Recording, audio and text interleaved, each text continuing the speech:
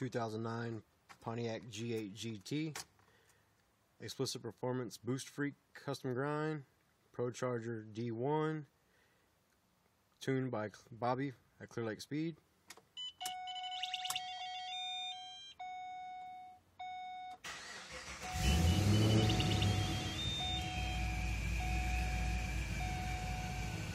The PLX gauge.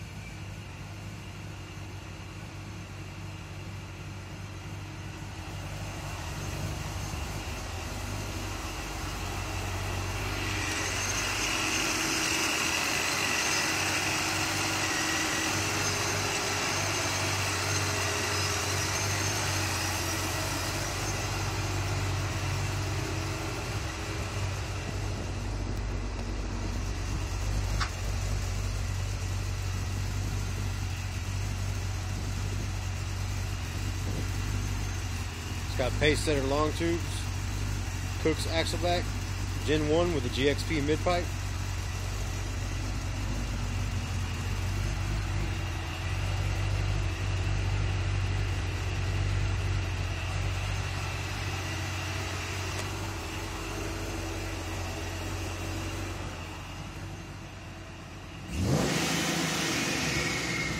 Got the race bypass valve.